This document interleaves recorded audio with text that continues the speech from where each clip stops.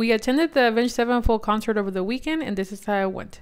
We had fast passes, so the line wasn't bad, but the craziness started once we entered the venue. It was at the Talking Stick Amphitheater in Phoenix, and security had a mess with their organization.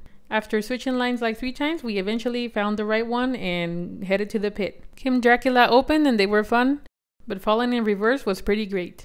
That's when the crowd started to get excited. And then came Avenged Sevenfold. Here's some clips. Enjoy.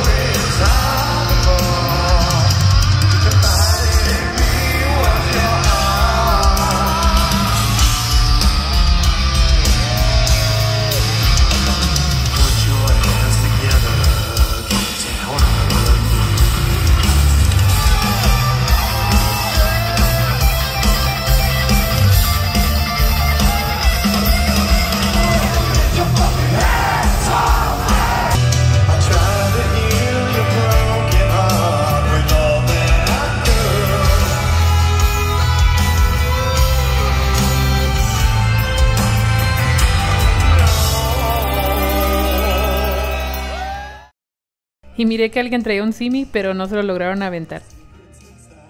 It was my third time seeing them and they were still pretty great. Can't wait for the next one, hopefully. When the concert was over, we were feeling our age. and we got stuck a few minutes at the parking lot. I'd say if you go to this venue, just park outside and then just walk. Yo creo que sí están viejitos también porque así se despedían antes y así se despidieron esta vez.